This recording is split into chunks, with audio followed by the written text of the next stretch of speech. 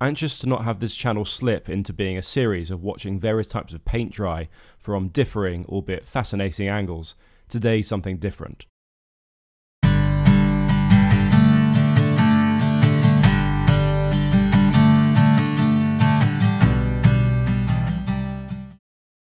I appreciate that some of the electrics installed prior to me starting this channel are somewhat shrouded in mystery, but bear with me. On summer sea trials, we needed lights to comply with the law, and I rigged up some temporary ones to keep us going. Alan's electrics mast is still laying around in storage, so the all-round nav light I casually duct taped onto the upper part of the driving console. It only needed a little 24 to 12 volt converter wired in. The equally temporary cables came down through the conduit, where the mast electrics will later end up, and run directly to the electrics console. The other light a 25 foot boat like Alan needs is a forward facing bi-directional port and starboard indicator. I'd cable tied one of them to the bow end uprights of the railings with some rubber pads to avoid plastic on metal creeping or friction damage. This front facing bicolour light is looking pretty shoddy. It was simply put on there for the sea trials and so now I'm going to be making a proper mount for it. Unsurprisingly, freeing up this one didn't take a huge amount of specialist equipment or elbow grease. I've located it here so as to minimise visual obstructions from the already quite limited driver's console front window. Unlike other lifeboat conversions, where a lot of fiberglass structure is removed to make the interior more light and pleasant, I'm keener to avoid compromising the shell. I'm going to mount a metal bracket to the rear of the light and then fix it all back onto the railing.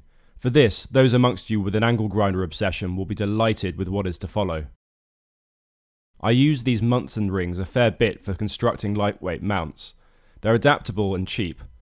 The rubber pads stay put well and reduce creepage even under heavy vibration. I want the ring as close to the flat plate as possible, so the weight of the light won't have a chance to move it all around. Whenever cutting off a male screw-threaded rod, generally you're lucky if the end will accept a female screw thread, so I tidied it off with a flat wheel. This is the sort of precision craftsmanship people pay good money to enjoy.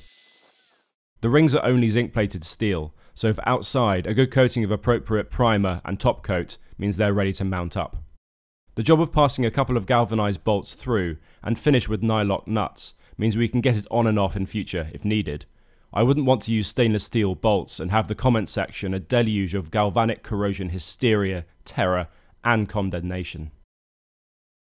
I'm not overwhelmed by the build and fit of the light, but having looked at the range of them on the market, there's little to separate the cheaper and mid-market ones. As ever, it's mostly down to brand name, even the ones costing hundreds with stainless steel mounts and casings still often only have the same really basic LEDs and connections inside, as far as my inspections could tell.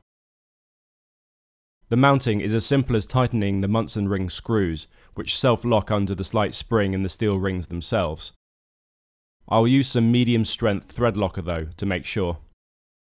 So there we go, mounted properly, near as damn it rock solid, and importantly, out of the main line of sight from the window. The switch, however, will need work when I finish the other light. Let's talk once again about the main battery bank. I did a quick intro for these in episode 12.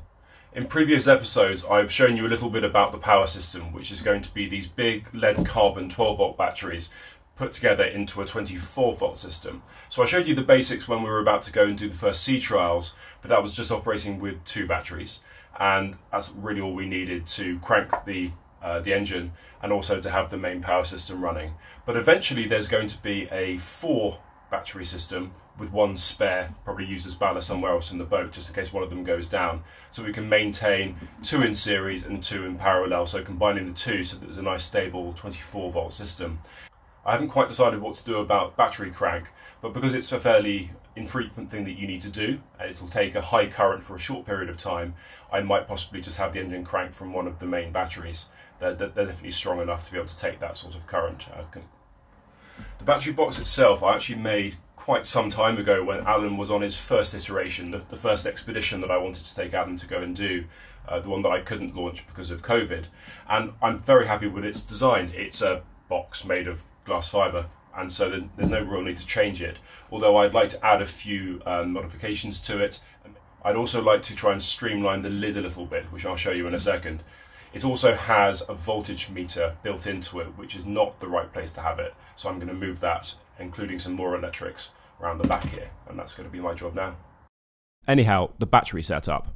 I currently only have three.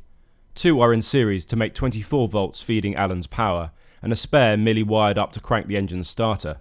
Once I have funds, I'll get a couple more so that there's the other pair giving another 24 volts in parallel, and a spare that'll live wherever I can find space for it. I use Anderson plugs for all high current connections, ubiquitous and quick to put together as they are. Here, grey is for between the batteries, yellow will be for connecting to charging circuits, and red for the actual circuit into the distribution panel through the isolator switches above. Of late, I've extended my reading about battery care, and especially banks that combine series and parallel layout for 12 volt lead carbon batteries. It appears we need to balance them with a battery balancer, and this clip of me pretending that I've only just unboxed it and then showing you where the leads go presumably helps illustrate. I want to mount it somewhere unobtrusive, and thought the inner inside of the, yes, vented, battery box lid would be an efficient use of space. But then I saw this in the instructions. Apparently it needs to be upright. Can anyone who can self certify as a YouTube expert, or even a real one, tell me if this is a real concern? Surely a solid state device can be mounted any way up. I recall I had a subscriber who worked for Victron, but maybe he's jumped ship, so to speak. A second best spot would be the rear panel of the battery box, but I like to avoid it for neatness' sake, or maybe somewhere else even less proximate. And this is the old lid in question, the one that weighs a ton, and was only employed due to its convenient shape and size all those months ago when I was hurriedly getting Alan ready for action. I'll use it as a mould to make a more wieldy version, and I want to clear the voltage meter panel from the lid too, so that things can be mounted atop it.